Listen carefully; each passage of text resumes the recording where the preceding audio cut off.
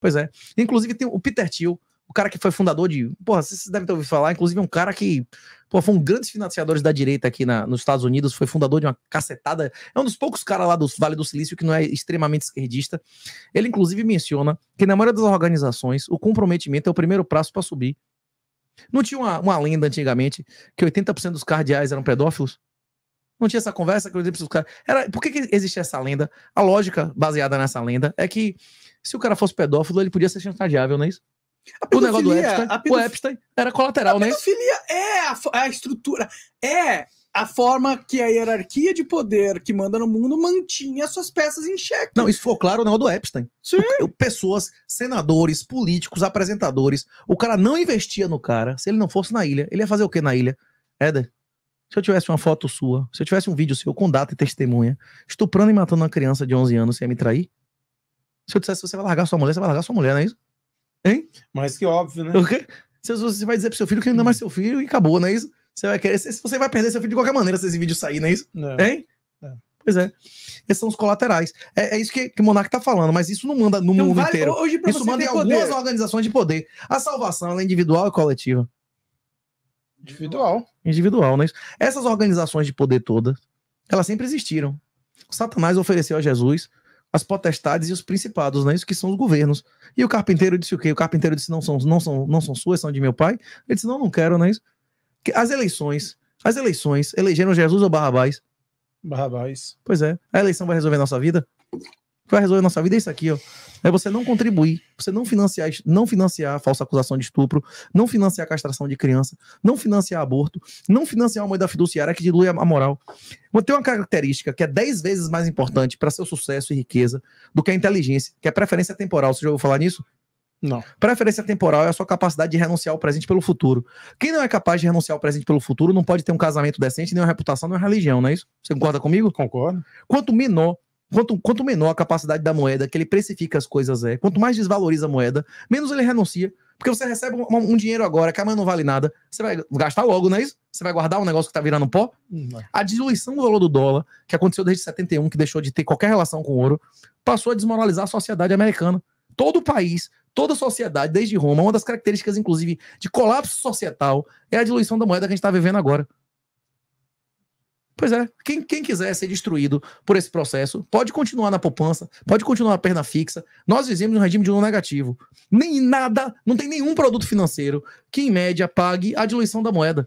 É tudo menos do que a inflação, porque a inflação real é o aumento da base monetária. Você acredita em inflação de televisão, se pilar aqui? Você aumenta a inflação, você acredita em inflação de televisão, bicho? Não. Vai se foder. Quem acreditar nisso vai, vai se destruir você e sua família, não é isso? É isso que é a mensagem que tem no livro aqui. Olha, velho, quer salvar sua família financeiramente? Quer salvar sua família espiritualmente? Primeiro você tem que estar tá salvo, tá salvo, tá salvo primeiro, antes de qualquer coisa, você tem que existir, não é isso? Uhum. Ou não? É o mais óbvio. Uma camada de salvação facilita pra caralho as outras, não é isso?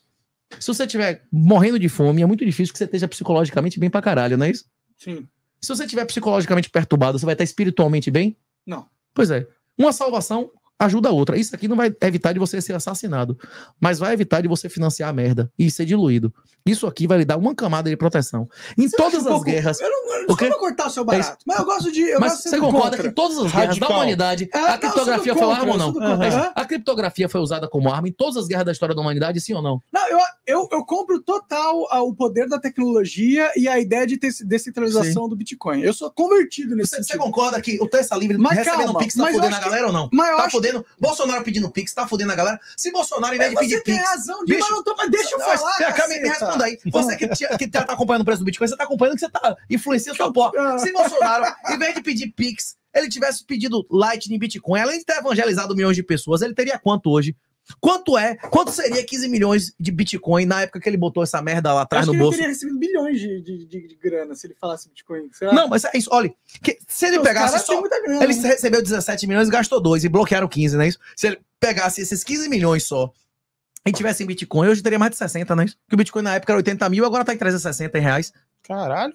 É Bolsonaro deixou de ganhar 60 milhões de reais para servir o PT. Dinheiro, pra, aí, o cara entrega. Quando você entrega a sua alma ao negócio, você entrega seu bolso ao negócio, você se destrói. O Lago de Fogo, ele é físico, ele é financeiro, é espiritual. Uma coisa leva a outra. A sua destruição física não destrói seu psicológico, seu espiritual. Uhum. Esse aqui é o início da salvação. Esse é o início da salvação Então, da maioria das que, famílias. aí, aí, o que eu, aí que eu acho que O quê? você você pega pesado demais Sim. com o Bitcoin, cara. Porque eu entendo, a tecnologia é da hora mesmo, eu até acho que é o futuro, e eu espero que a gente caminhe para isso, entendeu? Mas a vida é muito mais complexa do Sim, que... é muito mais coisa, tem muito mais camadas. É isso. Sim, Mas você financiou. E, e tem muito idiota que vai ouvir você falar e vai achar que o Bitcoin vai conseguir tudo para a vida dele, tá ligado? Talvez, se ele começar a programar, fazer serviços Não, e tal, é- ele consolidar renda nisso, Bora pode resolver assim, mesmo, Não, viu? Coloca mas a mão aí pra o que- baixo e levanta. Já foi aqui, ó. Mas Ah, tá. aí Quer- o que vai... que levante Tá mais? Não, porque ele tá baixando. O quê? É que tá, tá broxando. Ah, Levanta de novo, né? Tá, dá, vai, né? Tadala.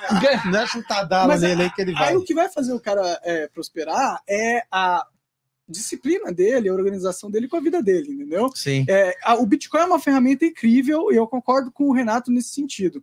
Mas eu acho que a, a mudança pessoal e espiritual que você está prometendo com o Bitcoin, ele, não- as pessoas não, vão Não, eu alcançar. não prometo mudança espiritual com Bitcoin. Eu prometo fala, imunidade. você promete Eu sim. prometo, É. eu prometo, eu prometo imunidade e expropriação. O cara fica imune à expropriação, É, inclusive fica- beleza, inflação. aí- ele aí- fica. aí- Eu, inclusive, pro- inclusive, prometo que você vai ter. Você não vai ser forçado. Quem tá me ouvindo agora sabe, a partir de hoje, que existe uma alternativa a financiar aborto, castração de criança e falsa acusação feminista. E o salário de Dilma e de, e de Câmara. Se o cara nunca ouviu falar nisso, ele tem culpa? Foi o que a gente conversou no início. Sim. Se você não tem, se você não tem escolha, você não tem culpa, Tá né? certo. Ou não? Eu- minha obrigação é pregar a toda criatura, é dizer, olha, você não é obrigado a ser escravo de Satanás. Você não é obrigado a ser escravo de nenhuma ditadura. Se você for, a partir de agora, é porque você quis. O livro está de graça. Como é? Bote lá na internet, livro, livroredpill.com.br, minhahonra.net, minhahonra.net é fácil pra caralho. Tem um livro PDF, tem um livro ditado. Se você não ouvir isso, é porque realmente você, a partir de agora, você pediu, pagou pra ser sodomizado, não é isso ou não? Cara, isso é. não, e, Porra, e- não, e- e isso eu acho da hora. Eu acho que tudo que o Trezetão fala nesse sentido é verdadeiro. Foi útil, ganhou dinheiro. Foi útil.